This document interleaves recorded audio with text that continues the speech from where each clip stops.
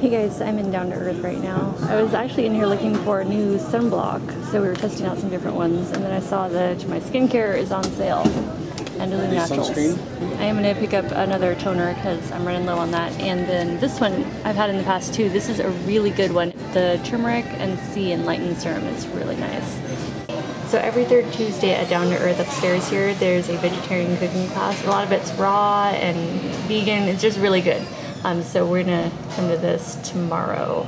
Good morning guys. So sometimes I'm asked, what is it that I'm doing when I'm working from home? Because you know that on the weekends we're out at markets. This is one of the things that I do. Right now I'm painting. Uh, so I take patinas and we start out with a blank.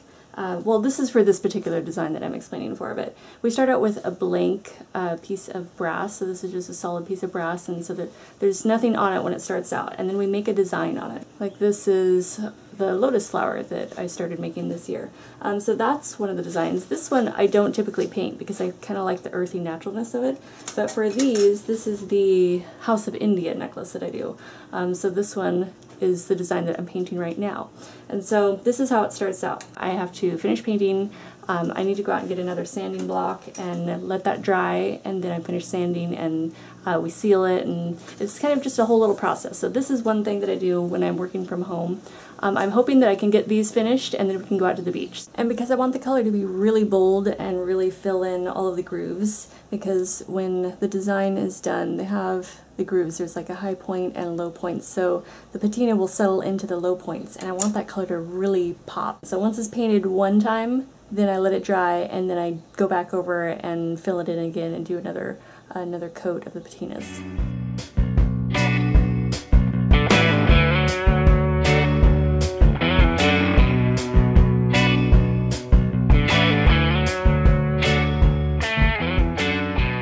Alright, so the second coat's done. I'm going to leave these to dry. We're going to head out, and when I come back, I'll finish them off, sand them, seal them, and they'll be done. Alright, I got my beach bag. We're almost ready to go. And I know that you guys had also asked what sunscreen do I use, and I was in between sunscreens for a little while there, so I kind of got out of the habit of wearing it every single day, which isn't good. I know that I should, but I didn't have one that I liked. Like, you know, you really gotta like it to be able to want to put it on your face every single day. And so I finally found one. I just finished a Vita Solar. I didn't want to mention that in my morning routine video because I knew I wasn't going to be repurchasing it because they changed the ingredients of it. So anyway, I just found this one the other day. This is Andalou Naturals in the, it's the BB All-in-One Beauty Balm. And I really like this a lot. So the active sunscreen ingredient in this is zinc oxide. It's 20% zinc oxide and it's a sheer tint. That sheer tint is just enough to kind of offset the zinc oxide, the whiteness of it.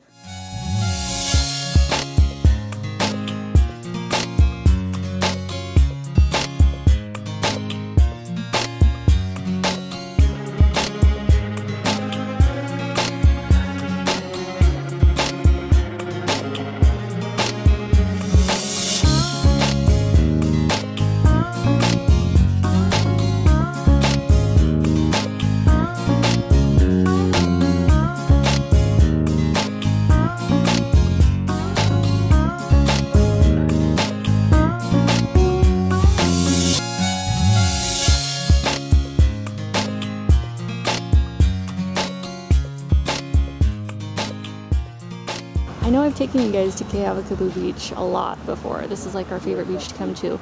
But something that I never end up showing in the videos for some reason is where it is. So if you're visiting here, you can find it if you don't know where it is.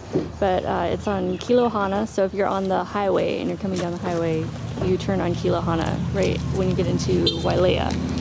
And then you come straight down Kilohana. And then there's this parking lot, which is going to be on your left and then right across is the beach. There's a little pathway down to the beach, so I'll show you as we get there. Alright, so you just cross the street, come to this kind of brick wall. Right down here, there's the showers.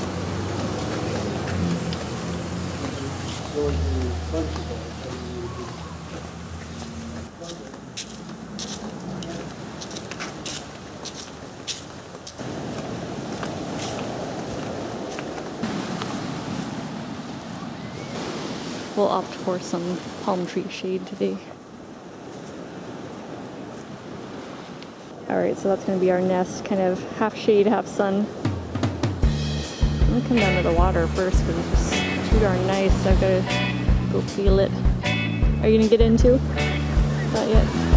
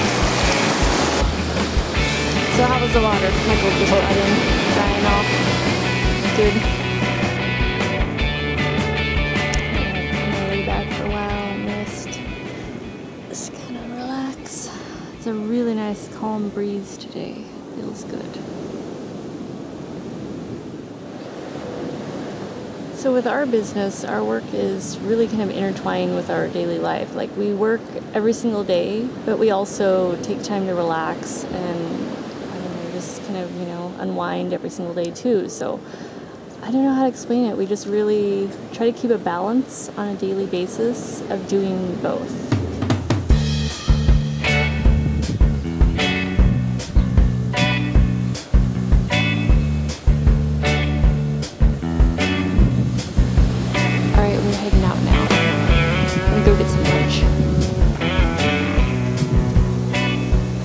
You find? Oh, the lizard. push-ups, trying to intimidate me. That's a cute one. Oh yeah, it's got nice colors on it. Striped. We're gonna take you guys to Maka. Kind of Maka. obsessed with that place. Yeah, it's good. Wholesome. So see, there's the parking lot. There's the road to come down if you're coming from the highway. This is South Kihei Road. If you're coming from that direction. Alright, we just got into Paia. Maka right there. And then directly across is this big gravel dirt parking lot. This makes it easy to park up here.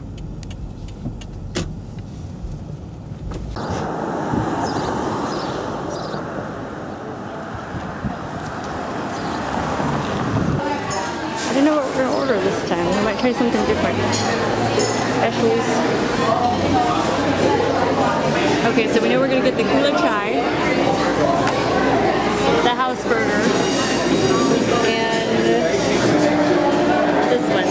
tempeh katsu, marinated tempeh cutlets. That looks good. The Kula Chai has arrived. You better try it first.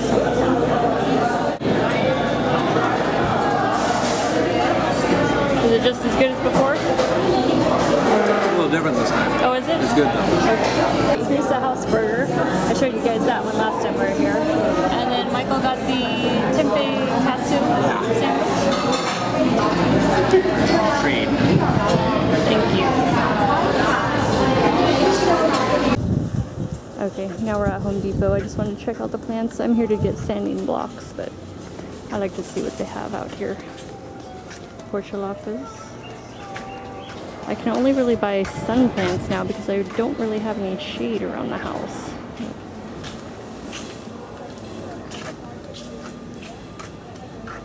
Palms. Look at those little pygmy date palms. They are so cute, the little phoenixes right over there. Those are pretty nice. I've got one in the house now. I have one outside and one indoors. My one outside's a little bit bigger. But yeah, oh, these are really nice. They got some gnarly thorns on them though. Check those out. Pink. Yeah. Don't want to get stabbed by that. We just got home and look, this is the first bloom on my baby desert rose, the little Adenium obesum. Look at that's a nice one too. It's a very petite one, but it has a nice little uh, caudex on it. And look at that bloom. It's very nice. There's my other one back there. That, that's the one with the like the two tone. Hey guys, I'm just inside collecting together some of my hand wash items. I have to do a load of hand wash laundry before I get back to work. So like these sort of tops that I love so much, the really wide like open stitch tops, I have to hand wash all of those. But it's totally worth it. I don't mind hand washing, I actually kind of like it. Um, but it helps protect the tops so they don't get all like stretched out and ruined or snagged or anything. Alright, so I have my 220 grit sanding block and I'm just going to take one of these pieces that has already dried. So right now you can see how it looks.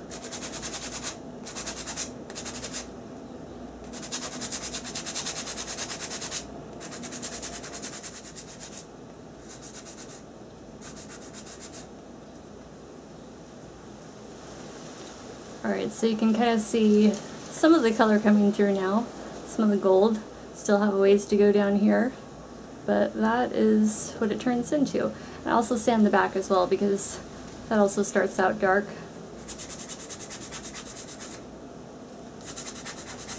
And that just brings the detail out. So, just to give you an idea. Alright, so I'm going to keep working and I'll check in with you guys later. Michael just reminded me that there was a cooking show that we wanted to go to this evening at 5. So it's 4.30 right now, it's on the other side of town, so I've gotta hurry up. It's usually a little bit cold in there, but this should do. Okay, I think that's everything. I'm just going to throw my purse on. I'm going to grab an extra battery for you guys. And I think that's everything, so let's go. We're at Down to Earth. This is where the cooking show goes on. Ready?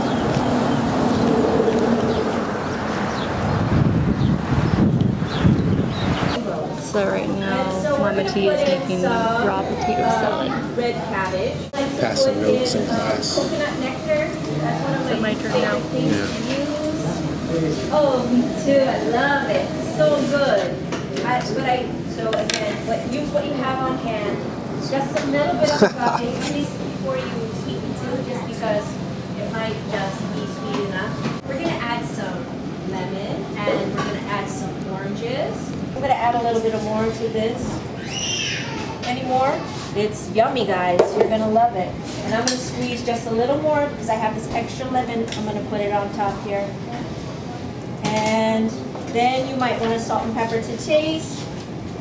If you have gloves, it's easier to use your hands so you can get it all around.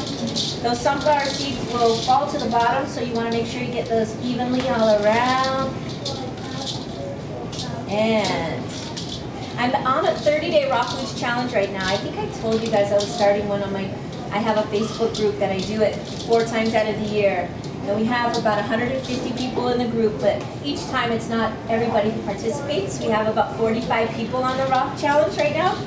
Everybody's been posting the most wonderful recipes. It's the most active group that I've done so far. And so it's really fun to be inspired by all of the raw recipes. So here we go, our sprout salad.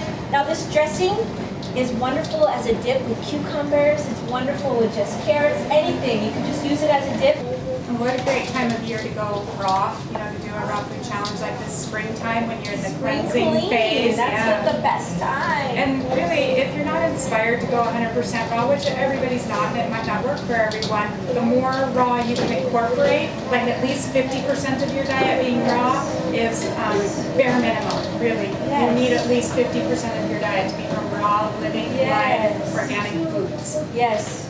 And a lot of people are doing the raw till four. Well, they'll do raw foods all the way till four, and then they'll have a cooked meal later in the day. And that's really doable because then we get in the mindset, well, I have a smoothie for breakfast, my chia pudding, and have a big salad for lunch, and then maybe I'll have some quinoa and some curry for dinner. So your cooked meals in the evening. This is the sprout, Uh, this is the sprout salad and then potato salad. raw potato. It's the raw Okay. Potato salad. It's actually made with potato, it's made with cauliflower. Yes. Yeah, that's good, huh? Yes. So yeah. Real quick, your recipe doesn't say when to add the berries. So after we've done our milk and we've whisked in and there's no clumps, we're gonna add in our liquid berries at this time, or whatever fruit that you decide to pure in. Okay. Right, we just arrived at the Haiku Flower Festival.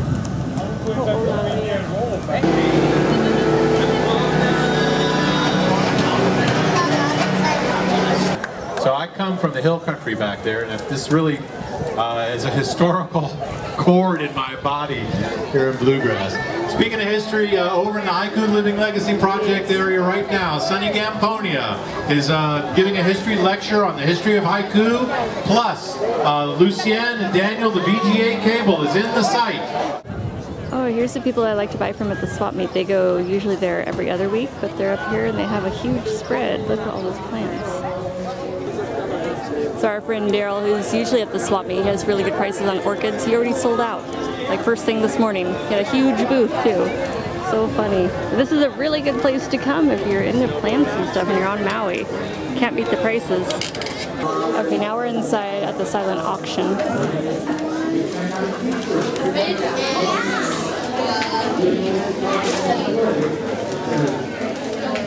Pottery and artwork. It's all made out of uh, inch and uh, eighth plywood, single cuts. They're giving samples for Down to Earth, one of our favorite places. Uh, I love them. They're so adorable. Okay, we're just out here under the tree in the shade, hanging out, having a snack. So we've got mock chicken, tortilla chips, and then there's rice, which is really good. I don't know, is that a turmeric? I'm not sure.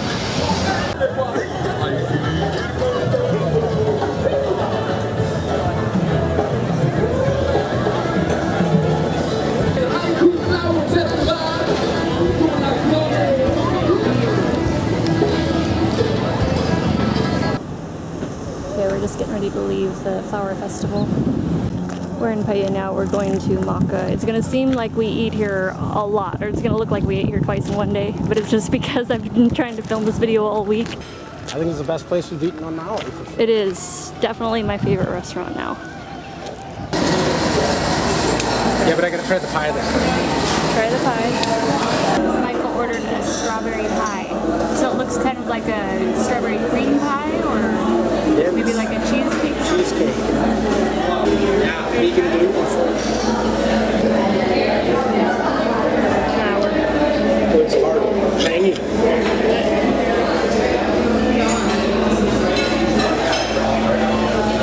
Is it good? We ordered a kula chai. and accidentally brought us the chocolate mole. Wait, mocha mole? Chocolate mole? Chocomole. Chocomole. So this is that one. How do you like this one? Yeah, it's good. It's good. That one's the You best. still like kula chai? Okay, this time we're trying the coconut terry cutlets. It's got its half. How's this one gonna be? So it's on the waffle bread, the artisan waffle bread. It's so good. So there's the little coconut cutlets on there. I've never had coconut cutlets, but let's see what they taste like.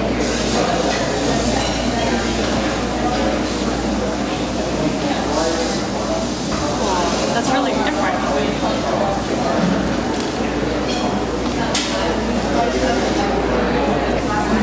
A little spicy. Is it? We're in Mana Foods shopping for tea. This one down here is the one that I mentioned to you guys that I really like a lot. It's like one of my favorites now, the Amber Sun. And I want to do a sun tea with the Amber Sun. Let's see, this has the rooibos, rooibos, sorry, cinnamon and vanilla. I want to try this one. The milk oolong. Yeah, it's That from looks Taiwan.